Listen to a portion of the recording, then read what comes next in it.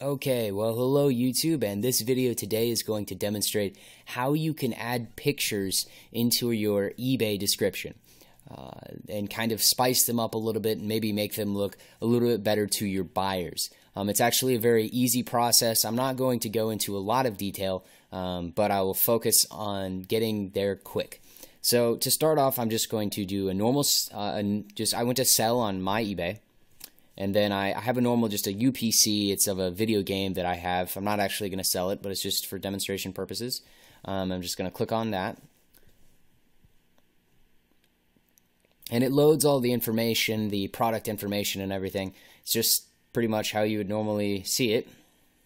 So we scroll down here. Here's the description. And this is just the normal description uh, box, pretty much just like a text box. You know, we can type this this item is in very good condition.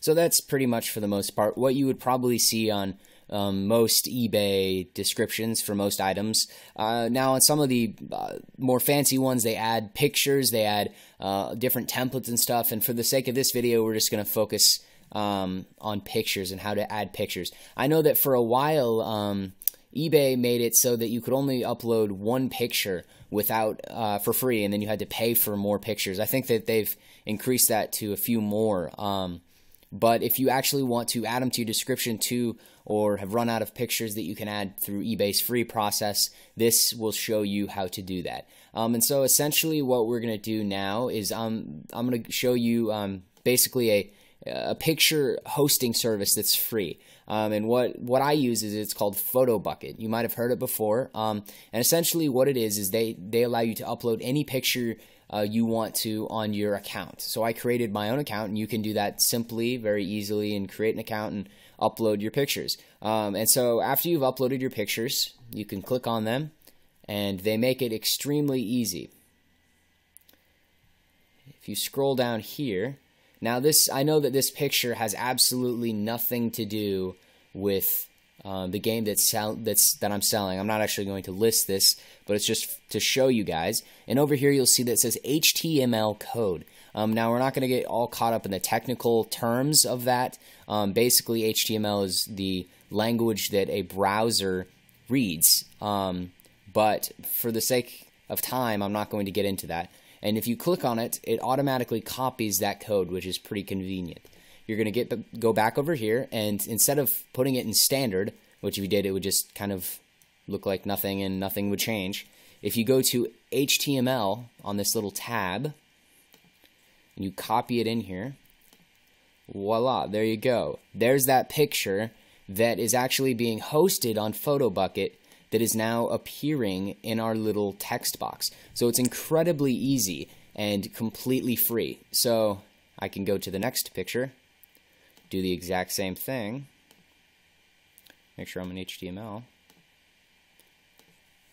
and we'll do even one more. If I copy that one in there, I'm just doing Control C and Control V, actually Command V because I'm on a Mac. So then you go back to standard, and there are your three pictures. Now I know that they are pretty big, um, and that's because my camera took them, or my camera takes pretty uh, big pictures. But you can actually um, decrease the size, um, and basically that's just some HTML modifying, which you can easily do. Um, if you don't know how to do it, you can easily Google search how to make an image smaller HTML. You know, um, and they will kind of there's plenty of tutorials and stuff. I'm not going to get into it just because we're going to focus on how to get pictures in. So that's really those three pictures right there, and I'll prove to you that they will actually work and will not change the price. If you scroll down, it's five cents. That's just because I have it on a buy it now. Let's see, I'll scroll back up here. I'll make it an online auction. If I do that, I just started at 99 cents. Need to make sure it's conditioned. We'll say it's very good because I said that in the description. We click continue, and there's see it's zero dollars and zero cents in fees, so it does not charge you one bit. And then if I scroll down here and go to preview your listing, what you'll see is there it is, the game Battlestations Midway, And there, look at that. The item is in very good condition. Of course, you'll probably add a little bit more, and there are your pictures. Looks very official um, and gives a lot more detail.